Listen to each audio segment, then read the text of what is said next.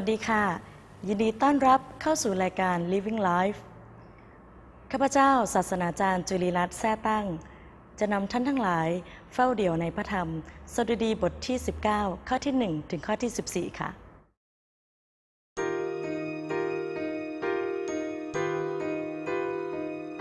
สดุดีบทที่ 19 ข้อ1ถึง14 ท้องฟ้าประกาศพระสิริของพระเจ้า และพื้นฟ้าสำแดงผลงานแห่งพระหัตถ์ของพระองค์ วันส่งถ้อยคำให้แก่วัน และคืนแจ้งความรู้ให้แก่คืน ถ้อยคำไม่มี วาจาก็ไม่มี และไม่มีใครได้ยินเสียงฟ้า ถึงกระนั้น เสียงของมันก็ออกไปทั่วแผ่นดินโลก และถ้อยคำก็ออกไปถึงสุดปลายพิภพพระองค์ทรงตั้งเต็นท์ไว้ให้ดวงตะวันณที่นั้น ซึ่งออกมาอย่างเจ้าบ่าวออกมาจากห้องโถงของเขา และวิ่งไปตามวิถีด้วยความปิติยินดีอย่างชายชะกัน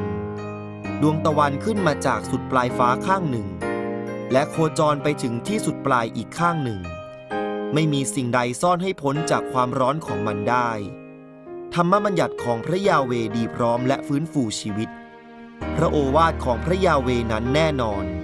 ทำให้คนรู้น้อยมีปัญญา ข้อบังคับของพระยาเวนั้นถูกต้องทำให้ใจยินดี พระบัญญัติของพระยาเวนั้นบริสุทธิ์ทำให้ดวงตากระจ่างแจ้ง ความยำเกรงพระยาเวนั้นสะอาดหมดจดถาวรเป็นนิด กฎหมายของพระยาเวก็สัตย์จริงและชอบธรรมทั้งสิ้น น่าปรารถนามากกว่าทองคำยิ่งกว่าทองบริสุทธิ์มากนัก หวานยิ่งกว่าน้ำผึ้ง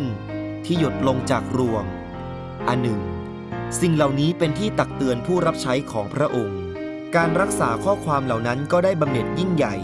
แต่ผู้ใดจะเห็นความผิดพลาดของตนได้เล่า ขอทรงชำระข้าพระองค์ให้พ้นจากความผิดที่ซ่อนเร้นอยู่ ขอทรงยับยั้งผู้รับใช้ของพระองค์ จากการทำบาปโดยตั้งใจนั้นด้วยเถิด ขออย่าให้มันมีอำนาจเหนือข้าพระองค์เลย แล้วข้าพระองค์จะไร้ตำหนิ และพ้นผิดจากการละเมิดใหญ่หลวงนั้น ข้าแต่พระยาเวผู้ทรงเป็นศิลา และผู้ไถ่ของข้าพระองค์ ขอให้ถ้อยคำจากปากข้าพระองค์ และการภาวนาในใจ เป็นที่โปรดปรานเฉพาะพระพักพระองค์เถิดในพระธรรมตอนนี้จะแบ่งเป็น 3 ส่วนสำคัญด้วยกันนะคะในส่วนที่1เนี่ยจะอยู่ในตั้งแต่ข้อที่ 1 ถึงข้อที่ 6 ส่วนที่ 2 จะปรากฏอยู่ในตั้งแต่ข้อที่ 7 ถึงข้อที่ 10 และในส่วนที่ 3 จะปรากฏอยู่ในตั้งแต่ข้อที่ 11 ไปจนถึงข้อที่ 14 นะคะ ในส่วนแรกเนี่ยเมื่อเราจะมองเห็นในในส่วนแรกเนี่ยจะเป็นเกี่ยวกับการที่พระเจ้าเองนั้นทรงเปิดเผยพระองค์เองในธรรมชาติที่พระเจ้าทรงสร้าง ในพระธรรมปฐมกาลได้เริ่มต้น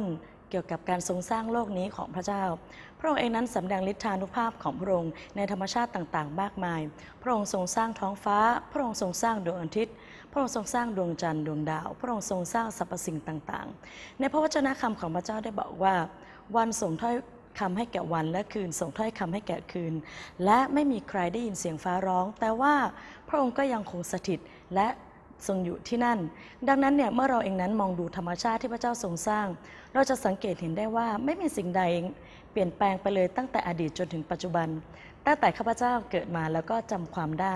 ข้าพเจ้าได้พบว่าดวงอาทิตย์ก็ยังคงขึ้นในทางทิศตะวันออก และยังตกในทิศตะวันตก เช่นเดียวกันยังคงมีฤดูกาลมีวันและเวลา ซึ่งสิ่งเหล่านี้นั้นไม่ได้ผันแปรเปลี่ยนไปเลยแม้แต่นิดเดียว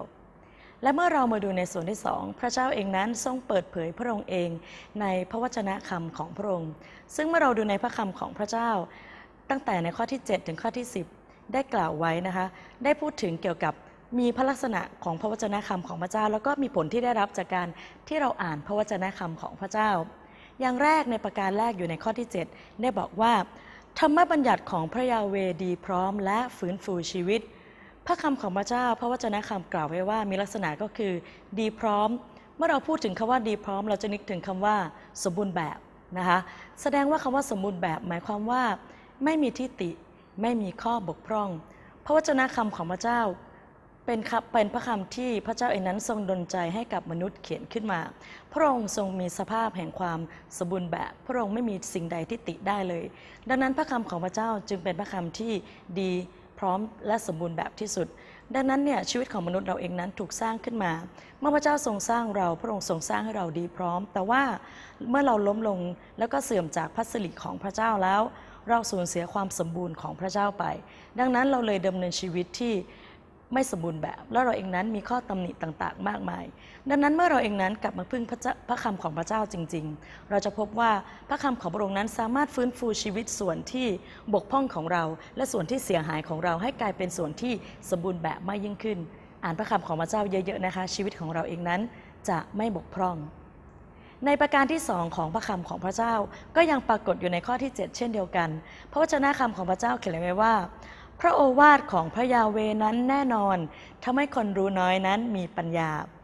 พระโอวาทก็คือพระวจนะคำของพระเจ้าเช่นเดียวกัน พระวจนะคำของพระเจ้าบอกว่า พระโอวาทของพระเจ้านั้นมีความแน่นอน มนุษย์เรามีความไม่แน่นอน มนุษย์เราเองนั้นเปลี่ยนแปลงได้อยู่ตลอดเวลาทั้งด้านความคิด ร่างกายสติปัญญา และก็จิตใจ แต่พระเจ้าของเราที่เรารู้จักพระองค์เองนั้นทรงไม่ผันแปรและไม่เคยเปลี่ยนแปลง ในพระธรรมยากอบบทที่หนึ่งในข้อที่ 17 นะคะ ได้กล่าวไว้ว่า ในพระบิดาไม่มีการแปรปรวน และไม่มีเงา อันเนื่องมาจากการเปลี่ยนแปลง ดังนั้นพระเจ้าผู้ทรงไม่เปลี่ยนแปลง ทรงประทานพระวจนะที่ไม่เปลี่ยนแปลงให้กับเราทั้งหลาย ดังนั้นพระวจนะที่ไม่เปลี่ยนแปลงเลยมีฤทธานุภาพอย่างมากมาย ที่จะเพิ่มปัญญาของเราที่มีการเปลี่ยนแปลงตลอดเวลาให้เป็นปัญญาที่สมบูรณ์แบบมากยิ่งขึ้น ความรู้ของเราที่มีน้อยนิด จะกลายเป็นความรู้ที่มีมากกว่าเดิม ในประการที่ 3 ของในส่วนที่ 2 ข้อบังคับของพระยาเวนั้นถูกต้องและทำให้ใจยินดี ซึ่งปรากฏอยู่ในข้อที่ 8ข้อบังคับของพระยาเวถูกต้องและใจยินดี นั่นเป็นเรื่องจริง ถูกต้องคือไม่ผิดพลาดนะคะมนุษย์ดำเนินชีวิตที่ผิดพลาดอยู่ตลอดเวลา และมีชีวิตที่ไม่ถูกต้องทำให้บางครั้งเนี่ย เมื่อเราเกิดความผิดพลาดในชีวิต เราเองเต็มไปด้วยความรู้สึกล้มเหลว เราเลยเต็มไปด้วยความรู้สึกหดหู่เศร้าใจ ดังนั้นเราสูญเสียความชื่นชมดีในชีวิตของเราไป พระคำของพระเจ้าเมื่อพี่น้องอ่านมากยิ่งขึ้น พระคำของพระเจ้าจะทำให้เรามีรอยยิ้ม และกลับมามีสันติภาพและสันติสุขได้อย่างมากมาย ประการที่ 4 พระบัญญัติของพระยาเวนั้นบริสุทธิ์กระทำให้ดวงตากระจ่างแจ้ง ปรากฏในข้อที่ 8คำว่าบริสุทธิ์ในภาษาเดิมแปลว่าถูกแยกออก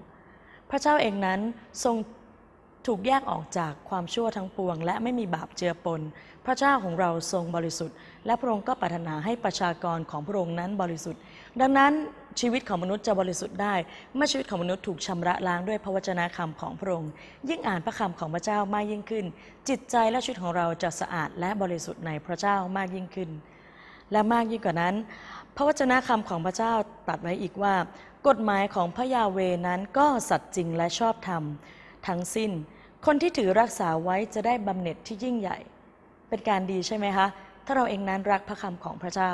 ถ้าเราเองนั้นรักกฎหมายอันชอบธรรมของพระองค์และพระองค์ก็บอกเราด้วยซ้ำว่า เมื่อเราอ่านพระวจนะคำของพระเจ้ามากขึ้นบำเหน็จจะเป็นของเรา เราจะเห็นการอวยพรของพระเจ้าที่มาถึงเราอย่างมากมาย และในส่วนสุดท้ายคือส่วนที่ 3 ซึ่งปรากฏในข้อที่เหลือจนถึงข้อที่ 14 นะคะ เป็นส่วนที่ 3 ที่บอกว่าให้เราอธิษฐานขอการช่วยเหลือจากพระเจ้า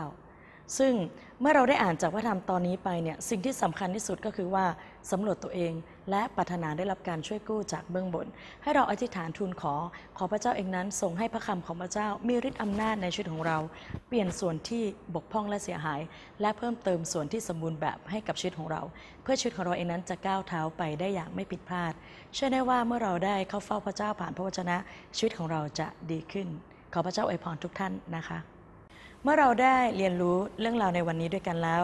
อยากเชิญชวนท่านทั้งหลายให้เราอธิษฐานต่อพระเจ้าด้วยกันนะคะ ข้าแต่พระเจ้า ข้าพระองค์ทั้งหลายขอบคุณพระองค์ที่สอนข้าพระองค์ทั้งหลาย ผ่านพระคำของพระองค์จากพระธรรมสดุดีบทที่ 19 พระองค์เองนั้นเปิดเผยพระองค์เองผ่านธรรมชาติ มากอยู่กว่านั้นพระองค์เปิดเผยพระองค์เอง ผ่านพระวจนะคำของพระองค์ เราข้าพระองค์ทั้งหลายมีพระคำของพระเจ้าอยู่ในชีวิต ข้าพระองค์ทรงโปรดเมตตาที่เราข้าพระองค์ทั้งหลายเองนั้นจะให้พระคำของพระองค์เป็นฤทธิเดชเพื่อจะเปิดดวงตาให้กระจ่างชำระหัวใจให้บริสุทธิ์เพิ่มเติมความชื่นชมยินดีให้กับชีวิต เชื่อแน่ว่าชีวิตที่พึ่งพาพระคำของพระเจ้านั้น จะเป็นชีวิตที่ดำเนินแบบไม่ผิดพลาด ขอบคุณพระองค์ฝากทุกอย่างไว้กับพระองค์ในพระนามพระเยซูคริสต์เจ้า อาเมน